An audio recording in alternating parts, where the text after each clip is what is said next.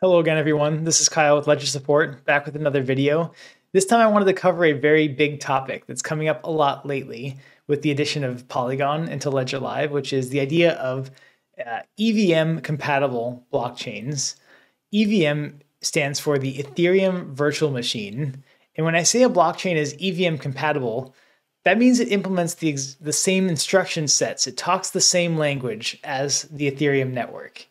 And what this means for developers is that when you develop some code for Ethereum, you can take that same code and you can move it to any other EVM compatible blockchain without changing the code at all, which is very friendly for developers. If you if you've already made Uniswap once, don't redesign the code, just deploy Uniswap onto another network, like Polygon, like Binance Smart Chain, like Avalanche, like Fantom, Arbitrum.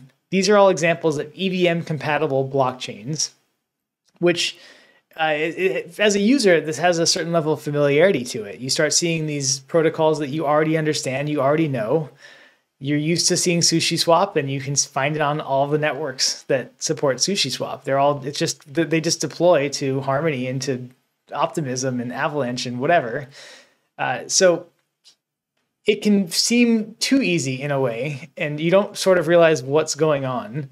What's going on is that these are these are two separate networks. These are truly separate blockchains. Ethereum and Polygon. And whenever I say Polygon, just think I'm saying if you're if you're coming in with like the mindset of Binance Smart Chain, just when I say Polygon, just map it in your mind to, to BSC because it's the same idea. Um, Ethereum and Polygon are two separate blockchains. Uh, assets exist on one or the other. Uh, when you when you execute a, a transaction to the blockchain, you're telling one of them, you're telling whichever one you're interacting with what you're doing. You have to choose which blockchain you're using whenever you go to send a transaction. The things that make this a little bit confusing though is that your address on Ethereum is the same number as your address on Polygon, which is the same number as your address on BSC, on Avalanche, on Fantom, etc.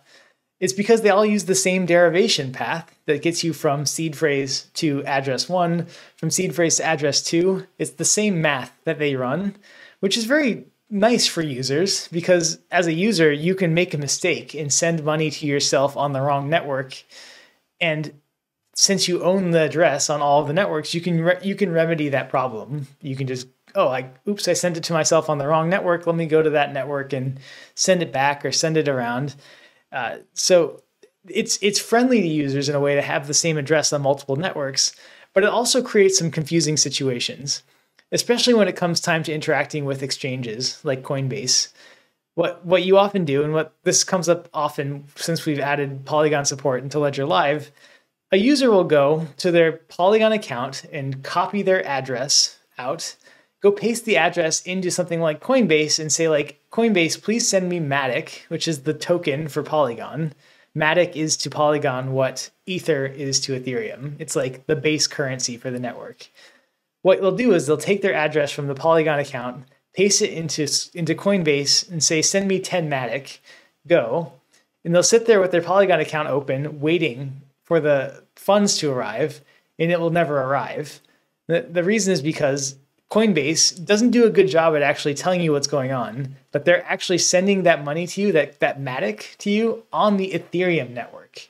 Uh, they use the ERC20 version of the Matic token, and they send that to you on the Ethereum network. So when you're when you expected it to show up on the Polygon network and you're refreshing that account, what actually happens is they sent it on the other network, and you you should have been looking there for Matic to show up on that account, which can be really annoying. Um, because uh, it's the Ethereum network right now, fees are really high and it will cost you money to remedy that problem somehow. Either sending it back to Coinbase or or bridging it. Bridging is the idea of sending a token from one of these networks to another. Is the concept of bridging. Um, but some exchanges do a better job at telling you what's going on. I, I think Binance is one of them, where if you say, "I want to send Matic from my Binance account to my Ledger address, it'll ask you which network do you want to send the token on. And you can pick Ethereum, you can pick BSC, you can pick Polygon. They do a better job at letting you decide which network you'd like to use. But if this is the first time you're in, you're interacting with this concept, just know that you need to start thinking about which blockchain you're on when you start talking about tokens. So you no longer want to say, I have USDC. What you need to say is, I have USDC on Ethereum. I have USDC on Polygon. I have USDC on Binance Smart Chain. You see where I'm going with that? It's like the token is not enough to identify where your money is anymore. It's token on blockchain is a is a more complete way to say that. And, and then you can use a bridge to go like, well, I have USDC on Binance Smart Chain and I want to move it to Polygon. And so you need to find a BSC to Polygon bridge out there somewhere that lets you transfer that USDC from one to the other. Okay, I hope that covered the concepts well. There are two things to know. One of them is you have the same address on all of these networks. And when you're interacting with tokens, you need to know which network you're interacting with. Those were those are the two places where the, the confusion lies. And just knowing that is enough to get most people uh, out of the predicament they're in. Now, I want to actually show you more practically how to go about using these networks. Because if you are uh, familiar with MetaMask or you just set up MetaMask by watching uh, the previous video of mine, you'll be in a situation where you're one step away from being able to use these other networks. And I, it would be a, a shame for me to not show you how to do that. So let me switch the view here. Okay, so I mentioned this before, but I just want to say it again. Whenever you're using MetaMask with a ledger, all you need to do is have the ledger open, unlocked, and the Ethereum app opened. The, the Ethereum app does all the interactions that MetaMask needs from your ledger. And so you can go do all of this stuff on all these other networks with the Ethereum app just open and ready. And if you haven't already, go into the settings and turn on blind signing because inevitably we will encounter a blind sign pretty quickly into this process. So make sure that's on. I covered that in a previous video, but just just adding it for for thoroughness. Okay, and now you're wondering why am I on Sushi Swap of all things? Sushi Swap's just a place you can go exchange one currency for another. But I, I call this, this is like my pro move for adding additional networks to your MetaMask. When you set up MetaMask right from the beginning, you end up with just one network here, Ethereum mainnet. There's a lot of space here, and you're like, what do I do? And when you go look up tutorials for how to add Polygon, it'll say go to here, click add network, it'll pop open this thing that you want to type a bunch of stuff and RPC URLs. And you're like, blah, whatever. I don't want to do that. Uh, turns out that SushiSwap has a really cool way to uh, inject the network into MetaMask. So if you click here in this little uh, Ethereum icon, it'll pop open a list of all EVM compatible networks that happen to have SushiSwap deployed on it.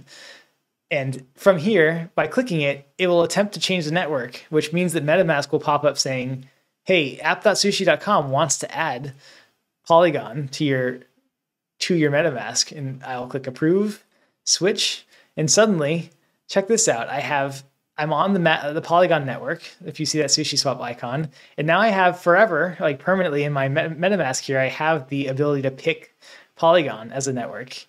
Um, so I have Ethereum, Polygon, and I when I first found this, I was like a kid in a candy store here. I'm like, oh yes, Avalanche, amazing. Okay, let's add Avalanche to, to Sushi Swap or add Avalanche to MetaMask. I mean, approve, switch, sure.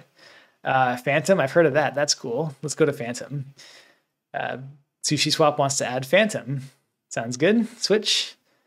And now look at look how loaded I am. My MetaMask account or my MetaMask extension here has Ethereum, Fantom, Avalanche, Matic, which is Polygon. And I can just switch freely between them. And I can I can go to other websites too. I'm not like stuck on SushiSwap or, or anything like that.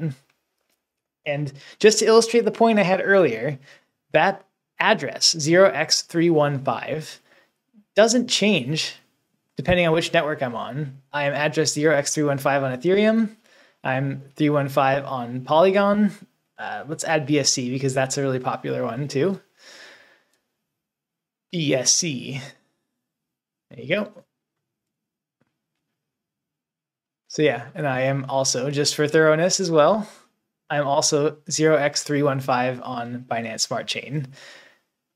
So there you go. Like this is all it takes to get from the end of that how to set up MetaMask with Ledger video to how do I use Polygon with MetaMask and Ledger? How do I use BSC with MetaMask and Ledger? You just get get it set up where you have a bunch of networks in your MetaMask network picker, and you can use that account across all these different networks. And I definitely recommend giving giving it a shot, especially with something like Polygon, where you'll find all of the big DeFi protocols have deployed their code. So if you wanted to go play around with DeFi and learn how Aave works or learn how Uniswap v3 works, and don't have the not enough money where spending $47 per transaction makes sense, which I think is the majority of us, uh, do those do all that learning you want to do over on Polygon where it works the same. So for learning purposes, it's great because it works exactly the same as it does with Ethereum, but the transactions cost you fractions of a penny.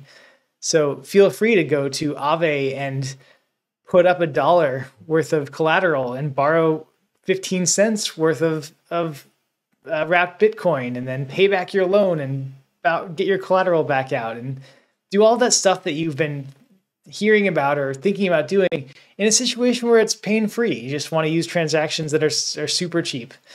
Um, that's the best way to learn is by doing, and there's no way to learn by doing anymore on Ethereum. It's just too expensive. So, um, yeah, give it a try. Let me know how it goes. And if you have any questions, uh, you can always ask them in the comments. But better yet, I'm uh, on Reddit on the Ledger Wallet subreddit. So come find me there and ask your question, and I will probably see it. I'm pretty active all the time there. So come find me.